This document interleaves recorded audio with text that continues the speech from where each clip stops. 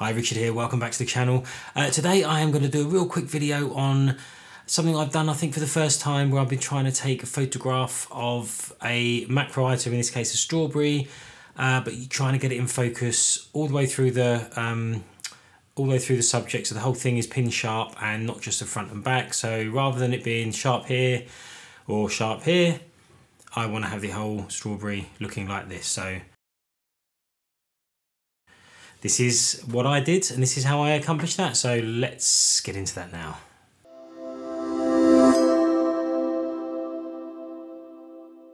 Okay, so yeah, as I was saying, um, trying a little bit of macro photography today. Not something that I really know much about, but in the interest of learning new things, here we are.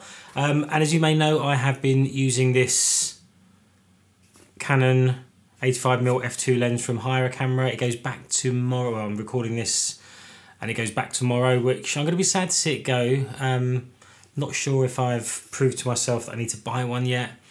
Time will tell. Um, but I use that lens just to see what it was like, how it performed with macro. Um, I have a couple of notes in front of me, so if I do keep glancing down, that is why, but I'll try and keep it as fluid as possible. So I chose a strawberry because we had one in the house. It was easy to photograph, um, and there's lots of detail in it with the little pips and the seeds that you can see in the, um, the surface of the strawberry. Uh, when you're focusing close up like this, depth of field is really tough to get it focused the whole way through. So we might be able to get it focused just at the front or just at the back, but I wanted to get this in focus from the front to the back. Um, and using macro and being sort of zoomed in and close up to the subject like we are, that's really hard because it really accentuates the depth of field. So I did cheat. This is all automated. I have not done any clever editing, but it's just to prove that you can get half decent results by letting technology do it for you. Um, the Canon R6 took all the photos for me, 30 of them. Photoshop did the rest. So I'm going to go through the process real quick. So first of all, here's a quick setup of the shot. We had the strawberry on the desk, uh, the camera set up facing it, the window light source as well, but I did use an additional light because I wanted to make sure that it was bright and I could keep the settings as um, favourable as possible without having to use too much ISO or things like that. So this is a basic setup. Once I'd had that set up, um, I managed to get my focus point on the front of the strawberry.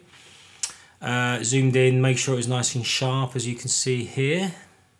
And once that was done, it was just a case now of telling the camera what I wanted. So I go into the menu options and head over to the focus bracketing menu. Enable that, make sure that I have number of shots set at 30. I leave the focus increment on uh, the camera defaults for this. It's my first time, don't really know what I'm doing, but sound like a good place to start. And take the picture. And here you can see in the top left hand corner of the screen, it is counting down 30 photographs taken. And what that has done, that has taken 30 photographs, starting at the front where I focused initially, and gradually moving back through the frame, taking separate pictures at different focal points until we get to the strawberry leaf at the back to give us one photo of each part of that strawberry in focus. And when they're all merged together, we'll get everything in focus, if that makes sense. So once I took the photo, it was straight into Lightroom, always start in Lightroom, bring them into my catalogue in Lightroom. Here you can see the 30 images, highlight them all, right mouse click, editing Photoshop, open as layers in Photoshop.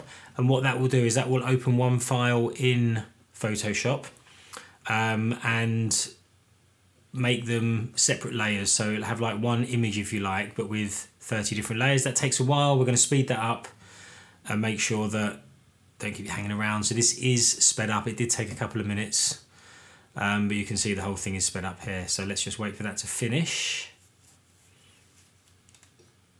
Okay, so there we are. We have 30 layers on this image.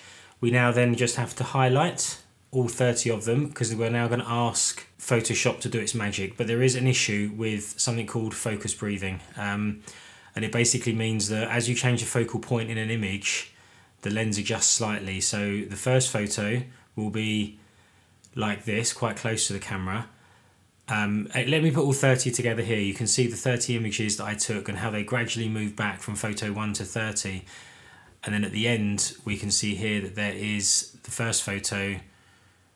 You can see that as we switch to the 30th photo, it's further away from the camera. So what we have to ask Photoshop to do is to line those strawberries up. Um, there isn't much of a difference, although it is noticeable. Photoshop seemed to be able to cope with making the adjustment to get all the strawberries in all 30 layers lined up. So to do that is really easy. Again, all automated. Head up to the we'll highlight all the layers first, that's the important bit. Head up to the top left hand corner, click on auto align layers, choose auto and then click on OK and that is going to align those strawberries up so they're all sitting perfectly on top of each other. Uh, again, speeding this up so you can see it do its thing quickly and there we go, we now have 30 layers lined up perfectly.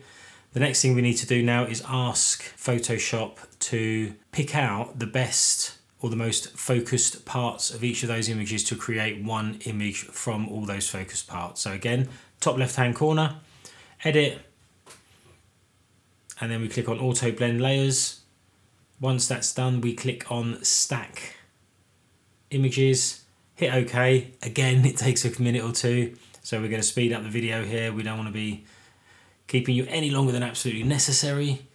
Uh, let's speed that up and if you look down in the bottom right hand corner you can see all those layers and the black layer mask I think it is next to it the white parts is the bit of the image that Photoshop has decided is the most in focus and you can see we now have one strawberry that is focused from the beginning to from the front of the strawberry all the way to the uh, to the leaf at the back, which is a vast improvement, I think, from what it was initially.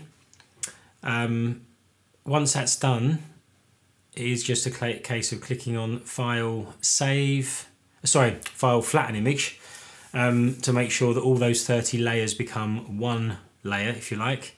And then once that's done, we click on File and Save, and that will bring back a brand new image back into Lightroom, which I we can see here. Now there are a couple of um, caveats with this. It is all automated. So there's no saying that Photoshop is going to do the best job possible. Um, and you'll be able to see from the image here that this looks, you can see round the image here that the depth of field and the blurriness in the outskirts of the frame isn't quite there. You can tell it doesn't look right. Um, so I've done something simple. I've just cropped it to 4.5. That's taken out those that sort of blurry frame around the edge of the photo and it's left us with something that, in my opinion, doesn't look that bad. If you zoomed in and wanted to really pixel peep, I'm sure you can find some discrepancies somewhere, but as a first real effort at this, not really knowing what I'm doing, I'm pretty happy with that. Um, it's then a quick edit. Let's just do some tweaks to it. Uh, again, editing sped up a tad and we have a finished image, something like this, with a quick crop to get rid of that bit on the outside. And there we have the final strawberry, and that is pretty good from the back all the way through to the tip of the strawberry. So there we go. If I do decide to get one of these lenses, I may do an even more detailed uh, video on how to do it properly. So I appreciate that is an automated process. And if you were to take your time. I think the whole process took 10 minutes, you know, while we're waiting for um, for the pictures to take and then to get them into the computer and to do all those auto aligns and auto blends and things like that. 10 minutes, I think, not much more than that. Um, just worth having a play. If you found that interesting, give it a go at home. Um, like I said, the, the, the Canon R6 is really good because it takes those 30 photos for me, but you could set your camera to manual focus and then pick 30 different points throughout the lens, throughout the photograph, excuse me, to get your 30 images and then ask Photoshop to do its thing. As long as the camera doesn't move, then you should be okay. So I hope you found that useful. That's me learning and sharing what I've done. Uh, don't forget to subscribe to the channel if you want to see more of me learning stuff and sharing it with you guys. And great to have you. We'll see you in the next video. Take care.